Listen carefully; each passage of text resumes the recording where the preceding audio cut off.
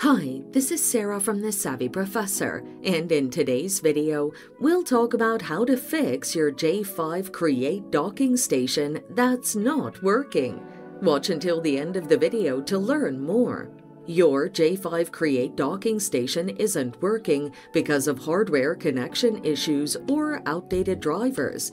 To fix these, check your docking station's connections.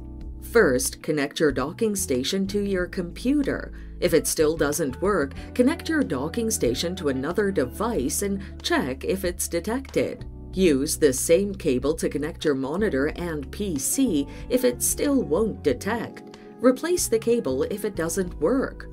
Finally, inspect the docking station's cables for physical damage and replace them accordingly. Update your docking station's drivers. Visit en.j5create.com on your preferred browser and go to the support page. The link is in the description. Tap the Downloads or Drivers option and type your J5 Create docking station's name and model in the search bar.